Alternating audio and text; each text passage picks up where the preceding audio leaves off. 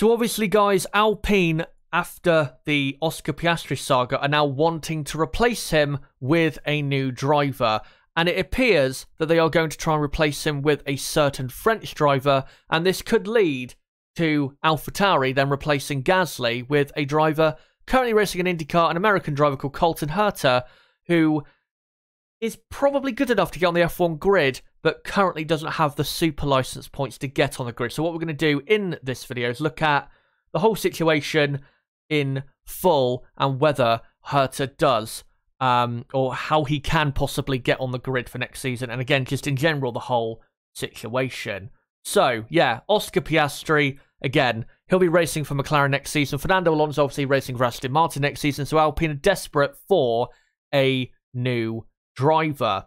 And the driver they are gunning for is this man, Pierre Gasly, obviously a French driver, and uh, I'd say a pretty good driver. He's not one of the best on the apps on the uh, Formula One grid, but definitely a good driver. And looking at the drivers available on the grid, he's probably one of the best available on the grid.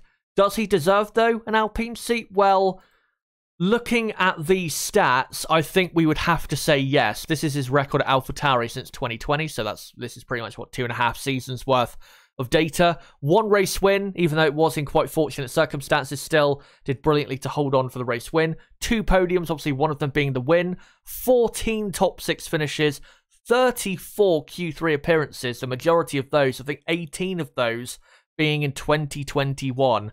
Very, very quick he is over a single lap and has also had two top 10 finishes in the World Drivers' Championship for AlphaTauri since 2020. This season not going as well for him, but he definitely deserves to be in the Alpine. I mean, Alpine are not a front-running team, but if you look at, you know, who is remaining on the grid, who AlphaTauri, or not AlphaTauri, that Alpine can go and get, um, I mean, obviously there's Daniel Ricciardo who's available, possibly Mick Schumacher, but I'd say looking at the last two or three years, I think Gasly maybe not the last three years, but last, you know, this year, last year, I'd say Gasly has been uh, better than Ricciardo and Schumacher. And I think does deserve, to be honest, to move to the Alpine team because I think he's done everything really he could have done at Alpha Tauri. Now, Red Bull, normally you'd expect them to replace Gasly with a driver from F2 or F3.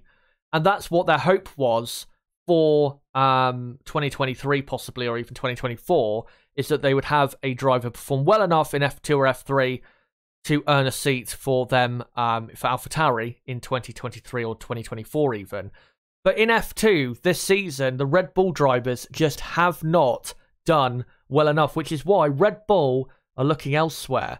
Here are the F2 standings, and I've, what I've done here with the middle column you can see is I've put, instead of the teams they race for, I've put what academy they belong to. So you can see there Felipe Drugovich leading the championship. He doesn't belong to any academy at all. Uh, Pourchaire, he belongs to the Sauber Academy. Obviously, Sauber um, are the Alfa Romeo team. And then obviously Logan Sargeant Williams, Jack Doohan Alpine. And then uh, Enzo Fittipaldi, Jüri Vips, and Marcus Armstrong uh, don't have uh, any academy ties at the minute. Obviously, Jüri Vips was cut from the Red Bull Academy a couple months ago for racist remarks on stream. Uh, but then you have Liam Lawson, Ayumu Iwasa. I think I might mispronounce that, but yeah, um, I've tried my best with that name. And then um, Jehan Daruvala, I think it is. They are three Red Bull Academy drivers. And also you have, I think, is it uh, Dennis Hauger or Jake Hauger? I can't remember his name exactly. Uh, he was F3 champion in 2021 And he is uh, in 12th in the championship. But yeah, all four of those drivers simply haven't done uh, good enough. Liam Lawson, even though he's in the top five of the championship and he's had a decent season in F2, to be over 100 points behind Felipe Drugovich is simply not good enough. I mean, Felipe is a good driver, but I wouldn't say Felipe is, in terms of pure talent, the best driver on this uh, grid for F2.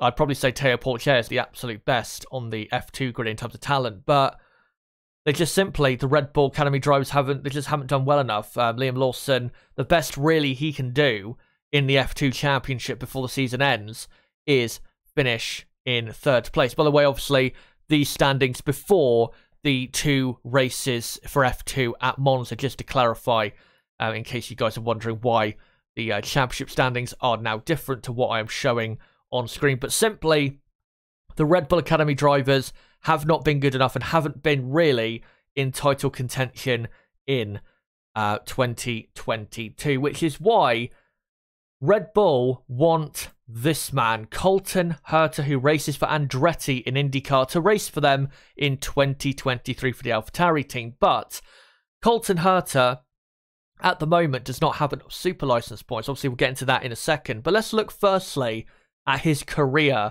um, so far in IndyCar. Obviously, IndyCar, one of the most premier single seater series in the world, and this is his record in IndyCar since 2019. And when you consider that Andretti have not been that great, I mean, IndyCar in the last few years, this is a very impressive record.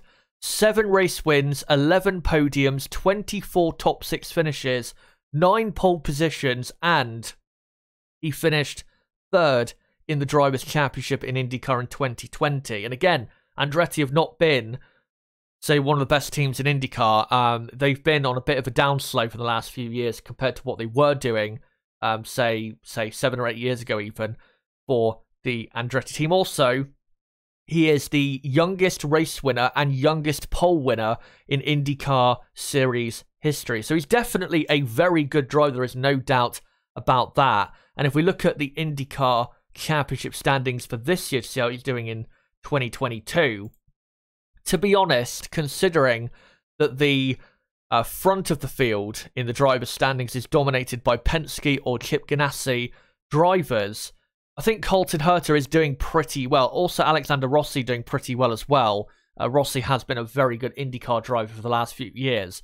But yeah, to be eighth and to be doing really the best he could have done so far this season when Penske and Chip Ganassi are just, you know, so much better is, I think, quite impressive for Colton being in eighth place and also being ahead of the McLaren there in P10. Obviously, just ahead of him, or not just ahead of him, but uh, almost 100 points are clear of um, Herta is Pato O'Ward, another highly rated driver for McLaren. But again, because Andretti are not that competitive really at the moment in um, in IndyCar, this is quite impressive what Colton has been doing for um, the Andretti team in uh, IndyCar. Now, is he good enough to get into um, into Formula One? To be honest, I would say yes. I think he is. If you look at again his IndyCar record and you know, the race wins, pole positions, and what he's done for Andretti um, since he joined IndyCar in 2019, I think he absolutely deserves a chance. I think there is no doubt about that. If you have, you know, Latifi on the grid, we've had Mazepin obviously on the grid in the last couple of years. Um, you know, he absolutely deserves his chance. Will he be a top Formula One driver? I'm not quite sure he would be. I think probably at best he would be a good midfield driver from what I've seen so far, because I do think the level of Formula One is still quite a bit higher than IndyCar. But he would I think there's definitely a good chance he would be a success in Formula One. But he does not, like I said, have the super license points. Now let's get on to that. So the super license is obviously run by the FIA. Obviously, this on screen is the FIA president, Mohammed Ben Sulayem. And let's get into quickly what you need for a super license um, and also the criteria in terms of what points get you what in what series. So let's get on to that now. So to qualify for an FIA Racing Super License, an applicant must meet the requirements of the FIA's International Sporting Code, and these are the requirements. A minimum of 18 years old at the start of their first F1 competition. Obviously, Colton is, I think, 22, 23, I think, is Colton. Um, an existing holder of an international Grade A competition license, I think he is uh, Colton. A holder of a valid dri- driving license, I'm pretty sure he is as well. Uh, passing of an FIA theory test on knowledge of F1 sporting codes and regulations when applying for the first time. Completed at least 80% of each of the two full seasons of any of the single seater championships reported in Supplement 1 of the regulations. And finally, the most important part accumulated at least 40 points over the previous three seasons in any combination of the championships reported in Supplement 1 of the regulations. So 40 points is what you need. And uh, currently, Colton has 32. So it's close, but just not close enough. But let's get into what points get you what in uh, the different series. So when comparing Formula 2 and IndyCar, the two series to get the most points out of all of the other um, series, Formula 2 and IndyCar, so for winning the championship, you get the same amount of points, which is, you know, fair enough. But then, from second place in the championship all the way down to 10th, it becomes, quite frankly, a bit unfair. As, yeah, for second and third in the championship, if you finish there in Formula 2, you get the same amount of super license points as you would um, if you won the F2 championship, which I've got to say doesn't really make any sense because you shouldn't really be getting as many points as the actual winner of the championship, but there you go. But you can look at IndyCar. IndyCar only gets 30 for second place and 20 for third.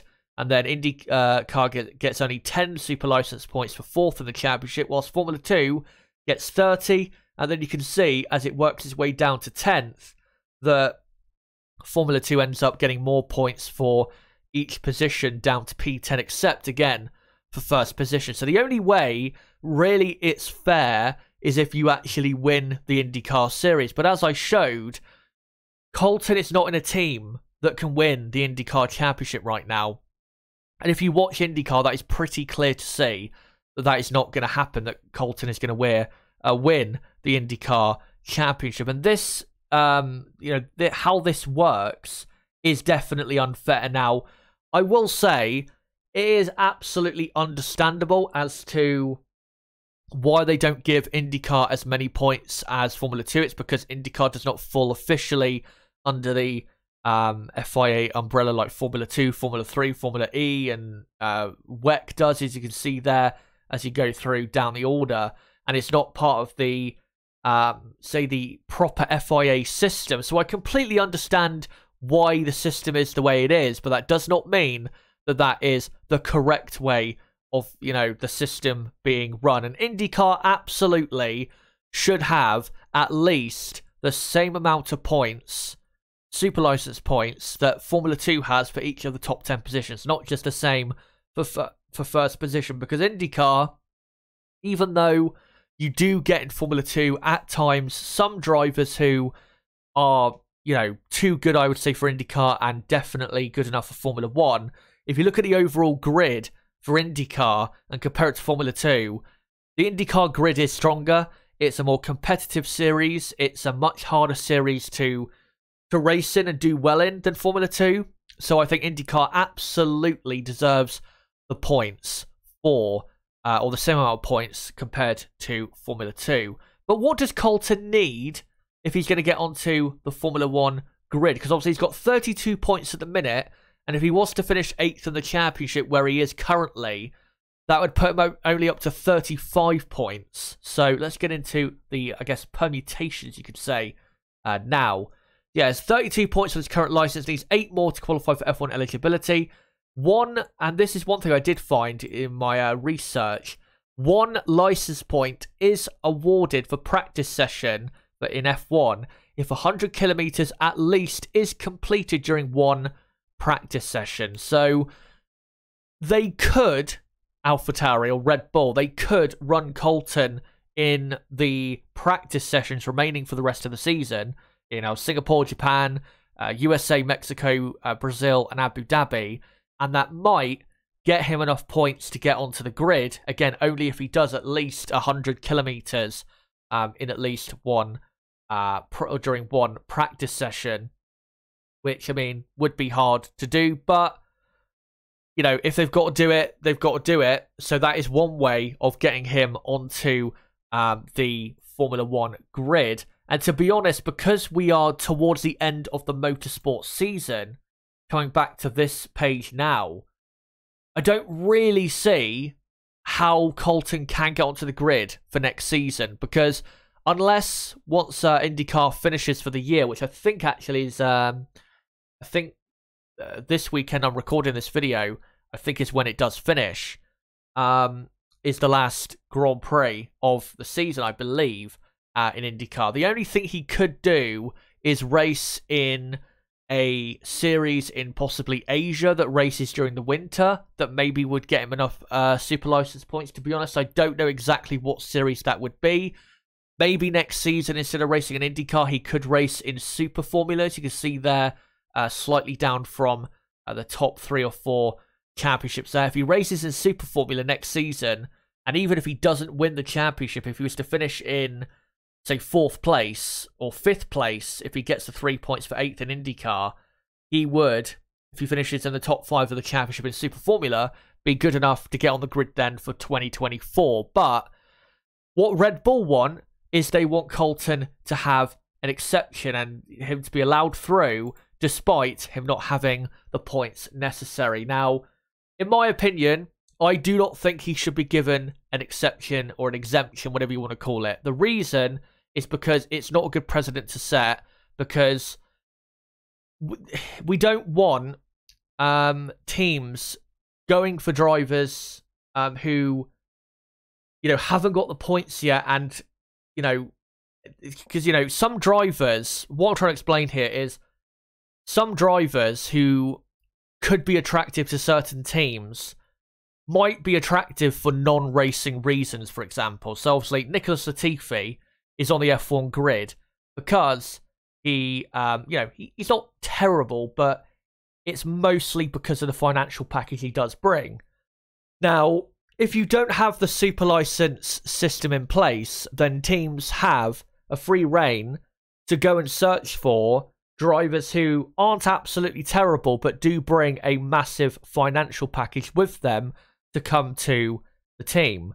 And that is why I don't think we should um, give Colton um, a pass or you know wave him through the system because it wouldn't set a good precedent uh, for the future because I think it would be, you know, if they were if they were to allow Colton through uh, with this system, I think it would uh, be abused this system in the future by a team, possibly Williams, who are looking for a pay driver, and um, you know maybe they'll look for a driver that has a big financial package, maybe doesn't have enough points, but if he's close enough, maybe they'll apply for um, him to have some sort of exemption from the current license uh, regulations. So I don't think we should allow Colton to just, again, be waved through and be allowed into F1, even though he doesn't have the super license points. The best way to solve this is, if I go back to this, is to redo the super license point system and quite simply give IndyCar the same amount of points as Formula 2 for each of the top 10 positions in the championship. That's all you have to do. And I think that is the best solution long term rather than just giving Colton an, exception and then not addressing the actual issue, which is that IndyCar does not get enough super license points and definitely doesn't get enough for what it deserves. So, again, I don't believe he should get an exemption or an exception, whatever you want to call it the best way to address this is to give IndyCar the points they deserve because that will then benefit not just Colton but future um, drivers, say American drivers, young American drivers who want to maybe get into Formula One, and not just American drivers but others as well that maybe can't um, find their way through Formula Three and Formula Two in that system, or maybe live um, in America and uh, find it easier to go through the American system rather than the European system, it would make it um, so there's more of an opportunity there for those drivers to possibly get onto the Formula One grid at a future date if the points are there for them to, you know, be um, or be able to qualify for Formula One. But there is no doubt about it that Colton Herta is absolutely good enough for Formula One, but I'm not quite sure we should accept him or a given exemption from the super license system. Let me know, guys, in the comment section what you think about Colton Herta and this whole uh, controversy and what you think should happen with this. And let me know what you think, just in general, of the whole situation as we wait to see whether Colton Herta will indeed be on the grid for 2023.